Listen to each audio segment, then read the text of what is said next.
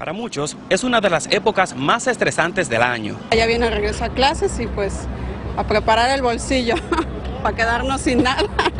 Con el fin de evitar que esto suceda, en Noticiero Univisión decidimos prepararle una lista con varias recomendaciones que lo podrían ayudar a cuidar su bolsillo a la hora de hacer la compra de útiles escolares. Bueno, tengo tres niños de unos 600, 800 dólares. Mucho dinero, ¿no? Mucho, claro, en zapatos, mochilas, útiles. uf. Según los expertos, el principal consejo es hacer una planificación familiar y preparar un presupuesto razonable. La clave, aseguran, está en aferrarse a este, separando así el querer del necesitar. La mejor forma para comprar los útiles escolares es comprarlos ahora, no esperar al último momento, porque en el último momento la calidad y los precios los suben bastante. Pero las mejores recomendaciones que ayudan a ahorrar la mayor cantidad de dinero posible serían las siguientes. Hacer una lista de los artículos. Otro punto importante es comprar uniformes en vez de ropa de moda. Antes de salir de compras, es importante buscar cupones en periódicos e internet, analizar las diferentes ofertas y estar al tanto de los descuentos que muchas de las tiendas ofrecen.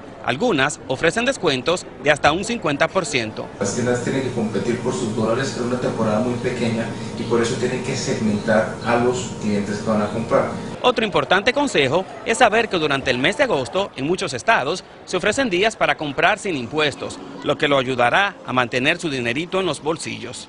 Bueno, ahorita todavía no nos dan las, las hojas de los útiles que van a necesitar. Y pues tampoco podemos estar comprando así porque luego compramos de más o así. Otra importante recomendación es aprovechar las ofertas para el feriado de Labor Day, cuando las tiendas ofrecen descuentos no solamente en ropa y útiles escolares, sino también en aparatos electrónicos. En el Bronx, Nueva York, en Pichardo, Univision.